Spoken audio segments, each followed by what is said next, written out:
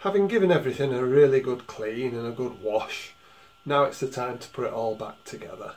It's a bit like doing an interesting puzzle. You're joining the wires up, colour to colour, connector to connector. There'll be a few of them that uh, don't match up because it's a bitsa, so you have to work out whether you're going to put in a new connector block or just some spade connectors or some bullet connectors. Get it all fitted together, then add electricity. I've got a, nicely new charged up battery which I'm going to shove in, uh, connect that up, and then hopefully no smoke, no fires, go through all the switches, see what works, see what doesn't, and then fix anything that you find. That's, that's the theory. Let's see how it works out. For the first fit, I won't even try to put the loom in any sensible position, just roughly near where it needs to be. As you can see, you've got a rat's nest in the uh, headlight and things hanging down over the engine. But the important bit is get the connectors all together so that you've got all the components wired up. So that's my first task is to try to do that.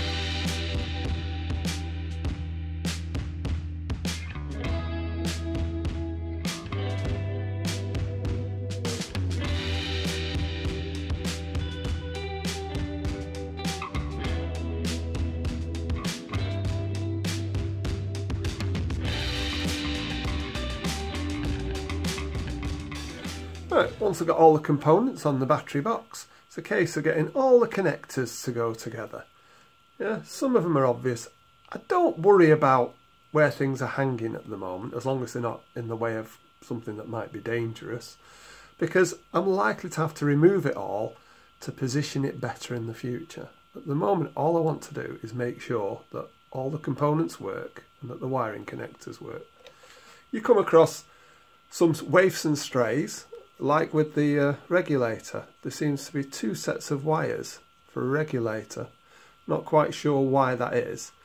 However, when I've been looking, I have seen that there's been some loose ones of these on some other videos which I've seen of people working in this area. So maybe it's for some particular model that I've not, you know, I'm not sure of. But I'll, I'll find out before I actually add, add electricity.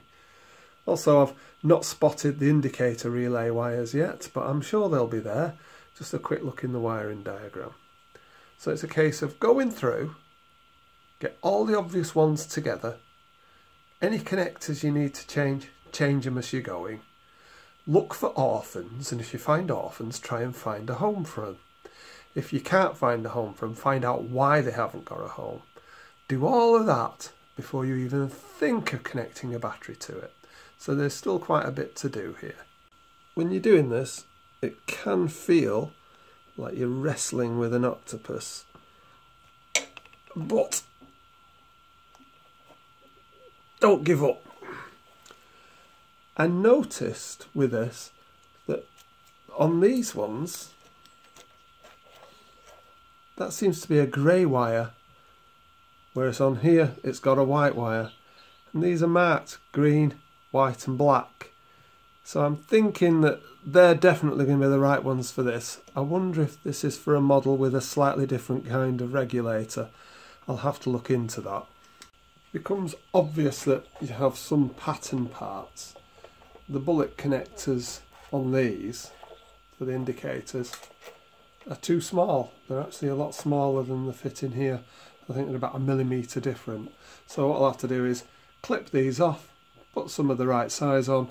I like to crimp them on rather than solder them on. I've been told that crimping is the way to go and it's what they uh, used to do originally. So I have to get those changed. That's them on. So light blue is to the right. So let's go with that one.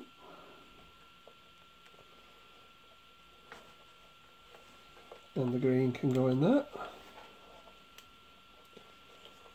Oops, that looks like it needs a bit of fettling, so I'll have a look at that in a second. And the orange goes to the left one. So I'll put that in there. So I'll just fix those green ears, put them together, and that's all the rear lights put back together. Looks like the previous owner got a full set of pattern ones, so I'm going to have to do the uh, fasteners on there as well. But the handlebar switch, I have actually managed to push that in and make the connections. So that may well work. I'll put a cable tie around it eventually or maybe swap the blocks completely. But at the moment I'm just trying to get it ready for testing. So that should do. Orange for left, light blue for right. And both of the earths to an earth. Oops. Oh no, that's from there. Right, on to the next bit. One of the things I have missing is the wiring for the idiot lights. And looking online, yes, you can buy them, but they seem inordinately expensive for four bulb holders and a couple of bulbs. So what I've done, I sourced some bulb holders, the 12 mil, got 10, and literally for about three pounds. Some three watt bulbs that go with them. So I've got a nice little bulb holder. Three watt bulb. I'll go in. And these will fit in here. Really snug. Now the only problem I've got is the wire colours are wrong. But what I can do is I can label them and can make it smart put it inside some kind of heat shrink that should actually do a really good job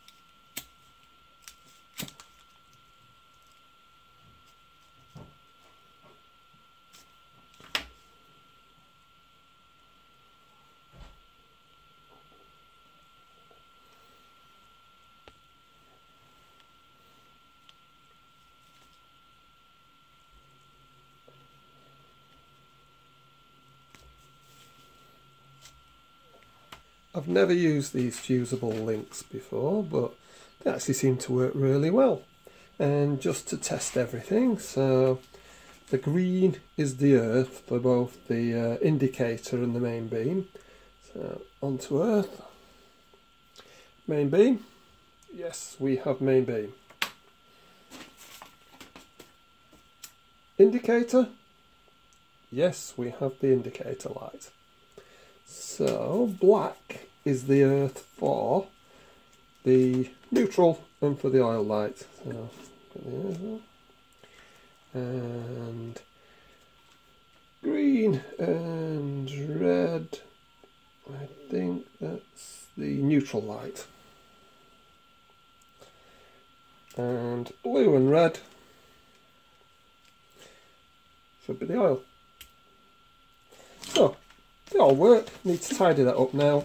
Put the other ends on so that they'll actually fit into the loom. I've got some indicator lights and it cost me about five or six pounds. That's the loom made up now, so I just need to fit it onto the bike and then get the rest of the wiring done, ready for testing it. Pushed all the wires through, now I've just got to match up the right colours with the right ones in here and that should be the idiot lights wired in. Well, I've now got everything to match up in the bits that are attached to the battery box, including I discovered that these, the grey, the black, were for the indicator relay, and the green, it just says not connected. I've also been brave enough to connect a battery, if you have a quick look. And I've not had any fires yet. The connector block for the switch that I've bought doesn't actually match up. What I've done is I've just put in some wires to connect the right ones together at the moment. What I'll look to do is buy one of these or one of those type of connector blocks and replace it before I actually finish and have the bike up and running for the road. Sometimes you have to do expedient things just to see if it'll work. I've got a bigger rat's nest in the headlight at the moment, but I'm just trying to get it together to see what works and what doesn't. It doesn't match up with either the wiring scheme for a F series later on or for a K series earlier one. There's bits and pieces that are different. Vast majority is the same. Bit that's causing me a bit confusion at the moment is there's a orange and white and a blue and white that are involved with the indicators. All the wiring diagrams seem to show them coming from the switch, but these are actually in the wiring scheme. When I connect them up and try it, I get this result. So I've got great four-way flashes, but that's not quite what I want. Works both ways, by the way. So it just tells people you're turning. Interestingly, the switch has two positions for indicator, which I've not really noticed before. The first one just turns on the light, and it's only when you go to the full click that it actually starts indicating. So I'm going to have to look into that and the headlights working onto main and onto dip and it works on the uh, idiot lights as well. I've got a lot of the loom together and a good amount of it seems to be connected up correctly. I've got a problem with the indicators which I've spent a little bit of time on and I've got a bit fed up now so I'm going to let that lie for a little while and come back to it. Also the starter motor initially was turning it over and then Tried it again and it just stopped. But before it stopped, I actually checked and I did have a spark, so that's looking promising. Brake lights work, uh, things like that. So it's indicators uh, and the starter now I need to have a look at. I'm going to stop at that. It's a rough fix. I didn't expect to get everything working first time, and some of the things are actually laughable the way I've put them together, but should work. Won't leave it like that long term you're always going to get these little niggles that you have to sort out. These are the bits that make it interesting. Because if it all just slotted together and worked, it'd be pretty boring, wouldn't it? I need to have a look at the starter motor because there's obviously an issue there, so I'll start by having a look at that. But I need to take the carbs off to get at it really. So I'm going to take them off and give them a good clean next. Then I'm going to work my way through all the bits on the engine seat to make sure that's going to be a runner. Then I'll come back finish off the electrics then and see if it'll start. That'll probably be within the next couple of weeks with a bit of luck. Hope you've enjoyed this.